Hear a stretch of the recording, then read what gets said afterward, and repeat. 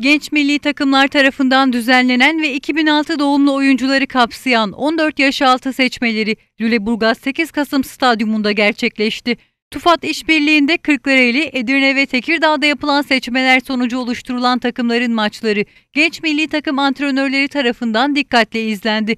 Seçmelerle ilgili değerlendirmede bulunan 14 yaş altı milli futbol takımı teknik direktörü Güngör Şahinkaya, amaçlarının Türk futboluna, gençlere ve çocuklara hizmet etmek olduğunu söyledi. Ben Güngör Şahinkaya, O14 milli takımı teknik direktörüyüm. 20 yıldan beri Türkiye Futbol Federasyonu'nda görev almaktayım. Bu sezon yani bu sene O14 milli takımı yani 2006 doğumların seçmelerini ülkemizin bütün her tarafına giderek, bütün bölgelerimize giderek, bütün milli takım antrenörlerimizle birlikte yapıyoruz. Ee, Trakya etabı da bunlardan birisi.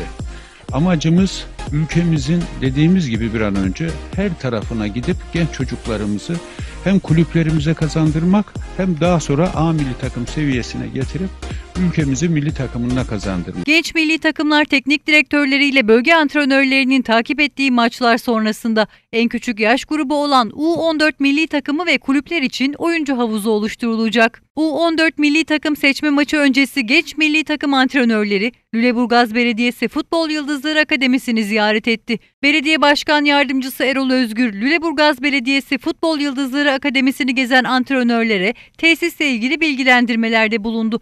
Türkiye Futbol Federasyonu tarafından en üst kategori olan 4 yıldızlı tesis olma özelliğini elinde bulunduran Lüleburgaz Belediyesi Futbol Yıldızları Akademisi teknik ekip tarafından büyük beğeni gördü.